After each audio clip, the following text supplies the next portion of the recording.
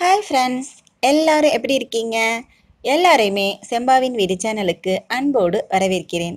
இன்றைக்கி நம்ம என்ன வீடியோ பார்க்க போகிறோம் அப்படின்னா நான் ஏற்கனவே நேற்று ஒரு வீடியோ அப்லோட் பண்ணியிருந்தேன். நான் என்னுடைய இருபது வருஷமாக யூஸ் பண்ணிக்கிட்டு இருந்த தோசை தவாவை எப்படி புத்தம் புதுசாக ஆக்குறது அப்படிங்கிறத வீடியோவாக நான் போட்டிருந்தேன்.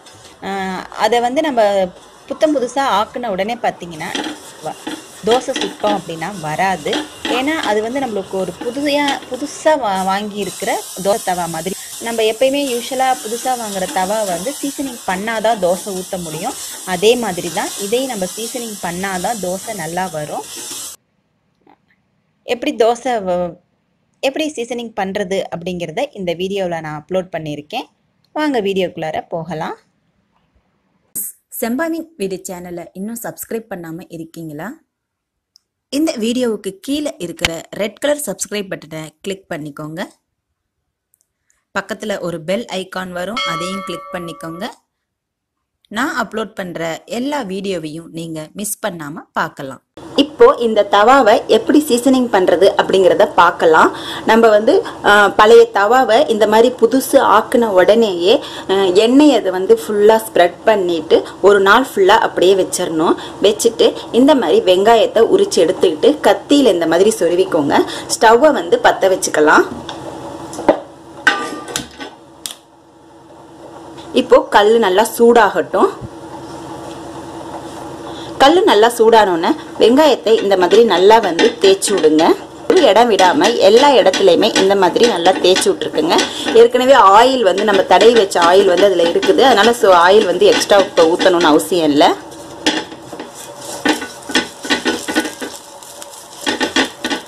ஒரு அஞ்சு நிமிஷம் நல்லா இந்த மாதிரி நல்லா தேய்ச்சிக்கோங்க. நம்ம எப்பயுமே புது தவா வாங்கின உடனேயே நம்மளுக்கு வந்து தோசை வந்துடாது இந்த மாதிரி நம்ம பழக்கப்படுத்தி ஒரு நாள் ரெண்டு நாள் பழக்கப்படுத்தினா தான் வரும். அதே ஸ்டேஜ் தான் இப்போ நம்மளுக்கு நம்ம பழைய தவாவை புதுசாக்கியிருக்கோம். ஸோ நம்ம இந்த சீசனிங் வந்து கண்டிப்பாக பண்ணாதான் நம்மளுக்கு வந்து தோசை நல்லா மொறு மொறுன்னு வரும். ஃப்ளேமை வந்து நல்லா சிம்மில் வச்சுக்கோங்க. இப்போ நல்லா அஞ்சு நிமிஷம் ஆயிடுச்சு. இப்போ இந்த வெங்காயத்தை வந்து நல்லா பொடியாக நறுக்கிக்கோங்க. வெஜ் இப்போ நீங்கள் வெஜிடேரியனாக இருந்தீங்கன்னா இந்த வெங்காயத்தை வந்து நல்லா பொடியாக அரிஞ்சு கொஞ்சமாக ஆயில் ஊற்றி அதையே நல்லா வந்து நல்லா பொன்னிறமாக ஆகிற வரைக்கும் நீங்கள் வந்து வதக்கிக்கலாம்.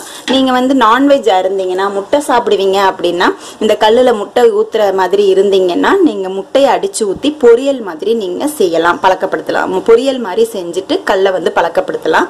இப்போ நம்ம வெங்காயத்தை எப்படி நறுக்கிறது நறுக்கி போடுறதுன்றதை பார்க்கலாம். கொஞ்சமாக ஆயில் ஊற்றிக்கோங்க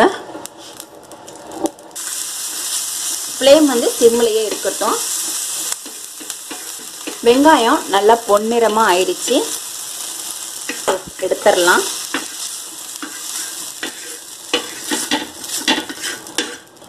நல்லா சீசனிங் ஆயிருக்கும். முட்டையை ஊற்றியும் கல்லை எப்படி சீசனிங் பண்ணுறதுங்கிறத பார்க்கலாம். கொஞ்சமாக நல்லெண்ணெய் ஊற்றிக்கோங்க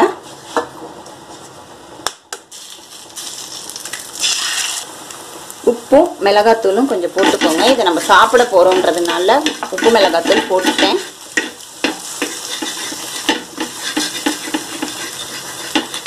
இப்போ இதையும் நம்ம எடுத்துடலாம். இப்போ டிஷ்யூ பேப்பர் வச்சு இது நல்லா வந்து தொடச்சி எடுத்துருங்க.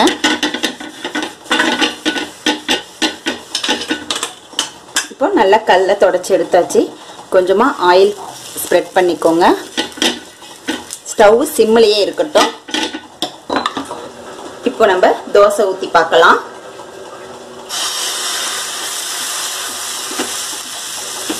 தோசை கொஞ்சம் சின்னதாக ஊற்றிக்கோங்க எண்ணெய் ஊற்றிக்கோங்க மீடியம் ஃப்ளேமில் ஸ்டவ்வை வச்சுக்கோங்க. ஃபஸ்ட்டு தோசை சரியாக வரலை. இந்த தோசையை எடுத்துடலாம். சிம்மில் வச்சுட்டு டிஷ்யூ பேப்பர் வச்சு நல்லா வந்து எண்ணெயை ஸ்ப்ரெட் பண்ணுங்க தேய்ச்சி விடுங்க. ஃப்ளேம் வந்து ரொம்ப சிம்லேயே இருக்கட்டும். டிஷ்யூ பேப்பர் வச்சு நல்லா தொடச்சாச்சு. இப்போ தோசை ஊற்றலாம்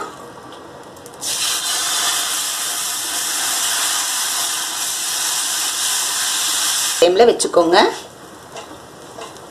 ஊற்றும் போது சிம்மில் இருந்தால் போதும். அப்புறம் கொஞ்சமாக ஃப்ளேமை ஏற்றிக்கோங்க ஆயில் போட்டுக்கலாம். மேலே நல்லா ப்ரௌன் ஆகிற வரைக்கும் தோசை வேகட்டும். நைட் வருது.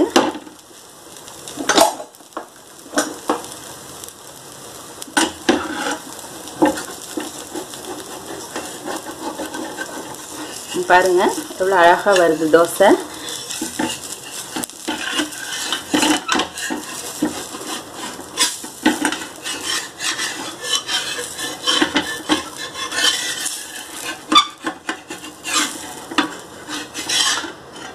அழகாக வந்திருக்கு பாருங்க தோசை.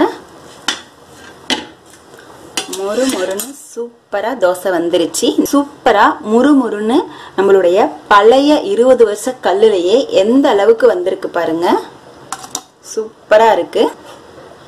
நீங்களும் இந்த மாதிரி தோசைக்கல்ல க்ளீன் பண்ணிட்டு எப்படி க்ளீன் பண்ணீங்க? உங்களுக்கு ஒர்க் அவுட் ஆச்சா? அப்படிங்கிறத எனக்கு கமெண்ட் செக்ஷனில் கமெண்ட் பண்ணுங்க.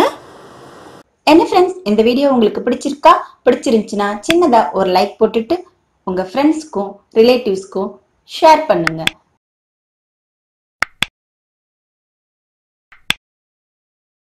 பண்ணுங்க தேங்க்யூ